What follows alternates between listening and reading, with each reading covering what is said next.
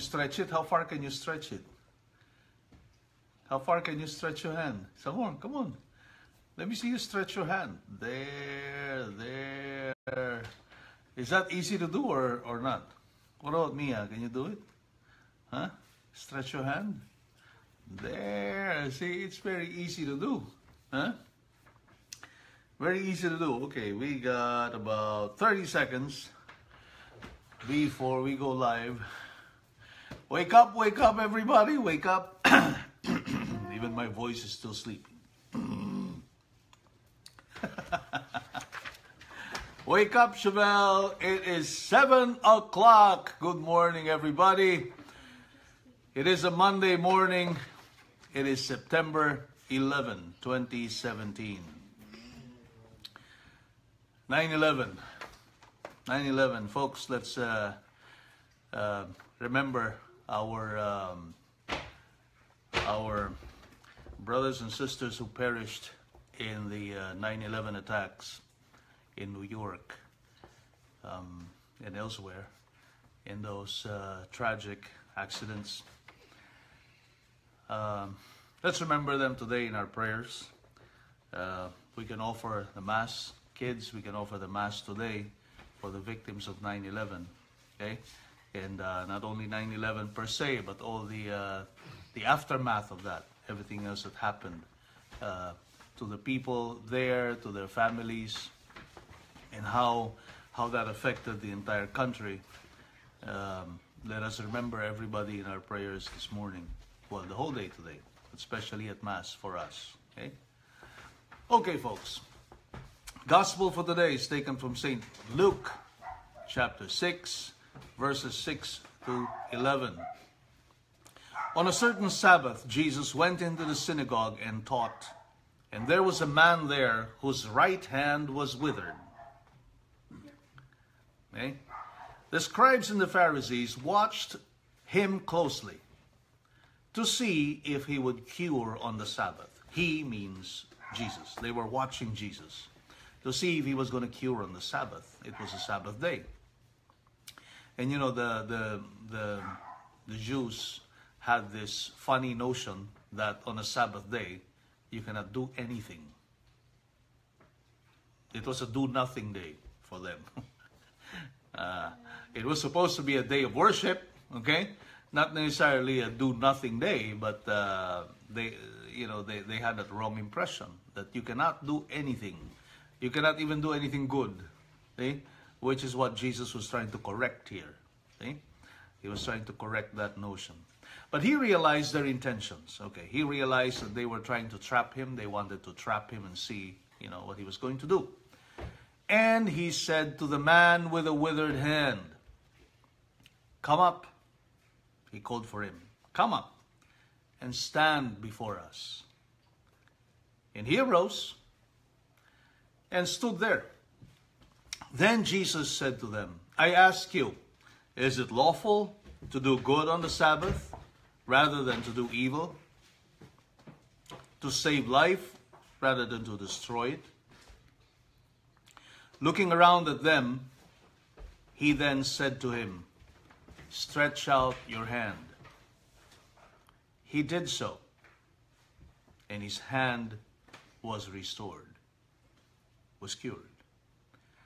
But they became enraged and discussed together what they might do to Jesus. They got enraged why? Because Jesus was doing good all the time. Sabbath or no Sabbath, right?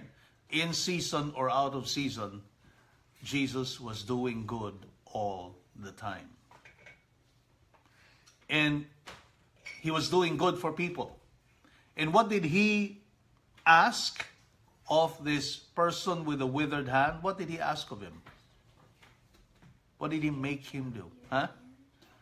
stretch out your hand, right?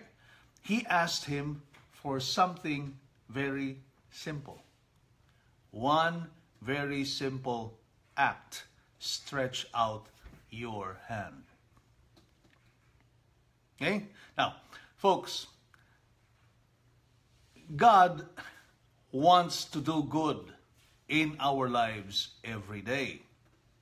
See, every day, in season or out of season, Sabbath or no Sabbath, Jesus is always doing good. And He's doing that good in our souls every day. Every day. There is no good or bad time for Jesus to do good in our soul. And you know what good that is is doing in our soul? He is transforming us to become saints. Okay? That is the good that Jesus wants to do in our souls. He wants us, He wants to mold us to become saints. Okay? Every day, every day, that is what He's trying to do. Mold us to become saints. And look what He asks of us. He just says, stretch out your hand. What does that mean? That means that Jesus is only asking us a little bit of effort on our part. Right? A little bit of effort. Do you think that by stretching his hand, uh, this guy with a withered hand could have cured himself? Uh, this guy with a withered hand would have done the miracle of, uh, of curing himself? Of course not, right? It was Jesus' work. It was Jesus that cured him. It was Jesus' miracle that cured him. But he needed to cooperate. He wanted this man to cooperate with a very, very simple act stretch out your hand. You see, the same thing is true in the effort to become saints. So God wants to make us saints. Okay? He called us to become saints. He commanded us to become saints. He said, Be perfect as as your heavenly Father is perfect. Right?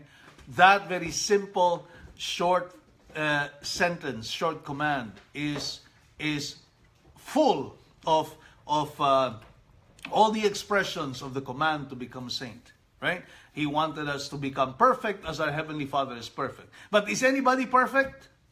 No. Why not? Oh, right? Okay, nobody's perfect. We were all born with original sin. It's uh, we we all have the tendency to commit sin. In fact, we do commit sin uh, quite a lot. That's why we need to go to confession very often, right? But our Lord commanded us, "Be perfect as my heavenly Father is perfect." He's calling us to become saints. But then he said also that, well, you know, for you men, okay, it might be impossible, but nothing is impossible for God. And look what he's asking for. He's asking for something very simple. Stretch out your hand.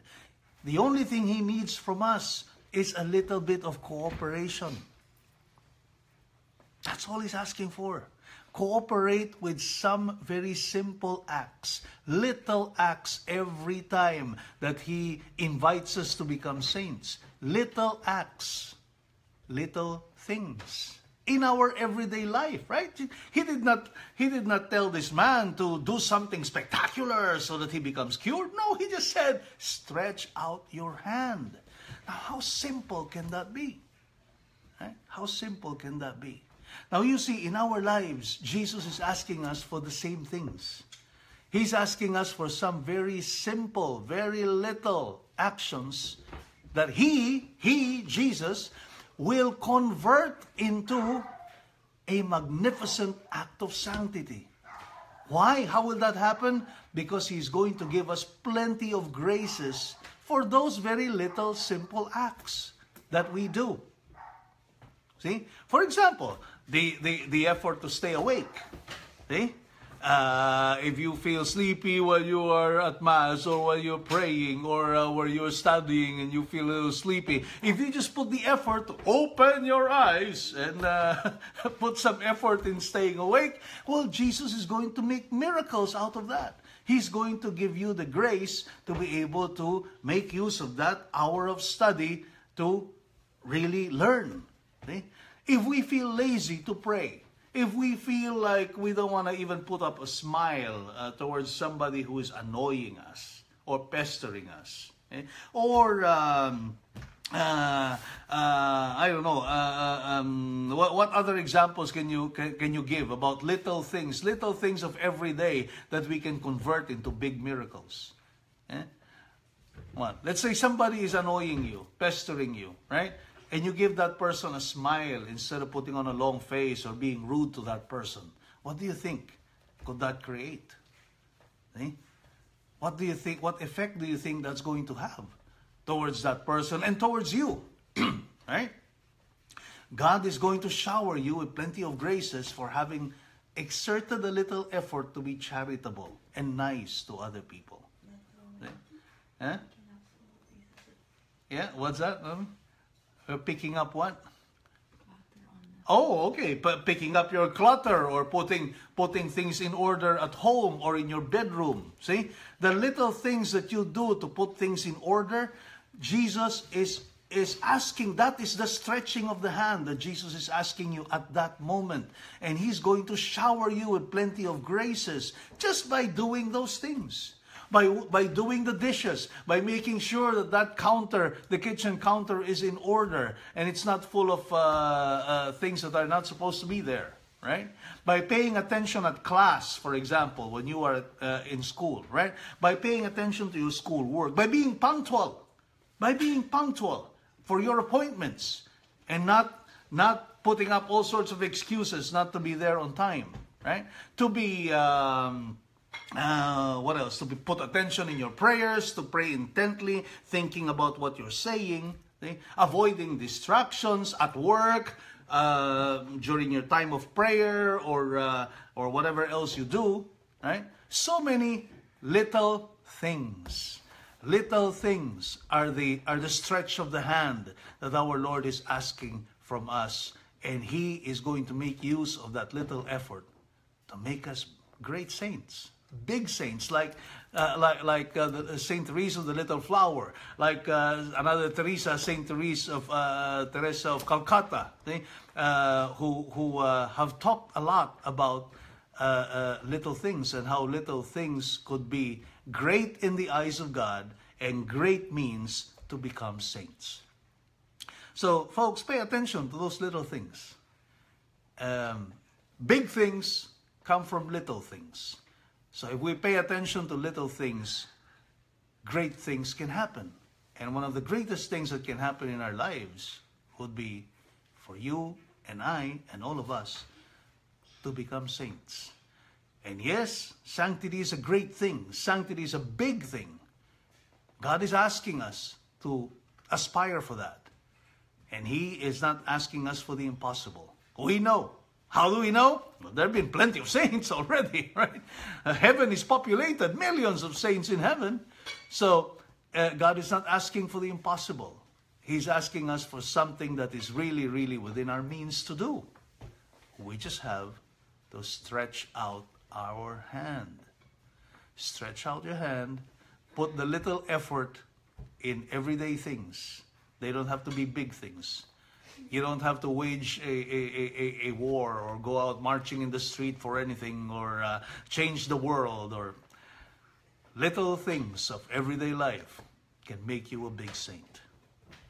Okay, folks, that's it for us this Monday morning. We're off to Mass. I hope you have a very good day today. And please pray for the victims of 9 11. Wherever you are in the world, let us pray for the victims of 9 11 and uh, not only those who perish there, but their families and all the other consequences that uh, came about as a consequence of those. Okay, what is that, mommy? You were saying something? Oh, sorry. Okay. Bye, folks. Have a good day.